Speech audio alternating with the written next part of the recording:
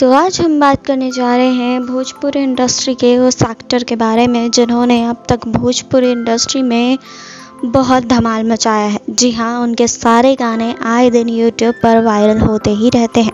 वहीं आपको बता दें कि रितेश पांडे, जी हाँ रितेश पांडे का एक गाना ज़बरदस्त वायरल हो रहा है यूट्यूब पर। जी हाँ गाने का नाम है बर्दाश्त ना होला। ये गाना कुछ ही घंटों में सारे व्यूज़ के रिकॉर्ड तोड़ चुका है। जी हाँ कुछ ही घंटों में इस गाने को डेढ़ लाख से भी ज़्यादा व्यूज़ मिल चुके हैं।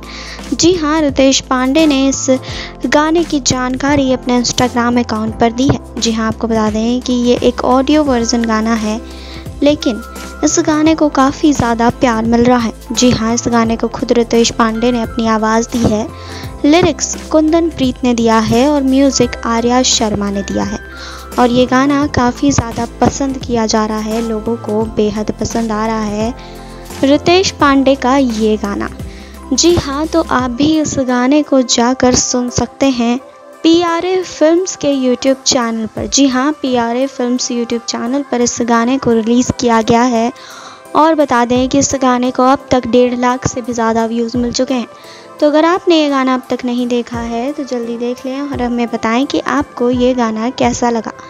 बाकी और खबरों के लिए जुड़े रहिए हमारे साथ। नेक्स्ट नाइन भोजपुरिया से सुरभि की रिपोर्ट।